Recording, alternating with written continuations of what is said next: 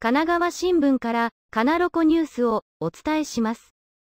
高校野球の春季関東大会は22日、甲府市で神奈川2位の東光学園対千葉2位の仙台松戸の準決勝が行われ、東光は2対3でサヨナラ負けして、初の決勝進出を逃しました。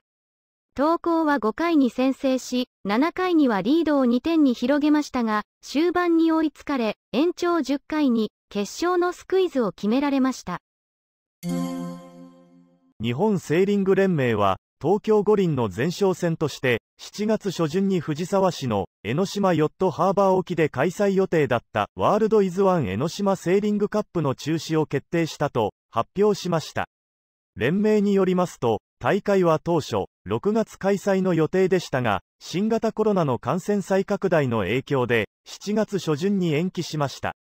しかし、海外からの入国規制が7月になっても続く見込みなどから開催を断念したということです。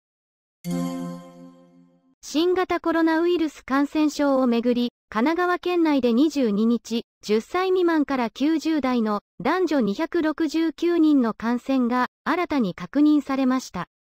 学習塾などで新たなクラスターが相次ぐ一方、136人の感染経路が不明でした。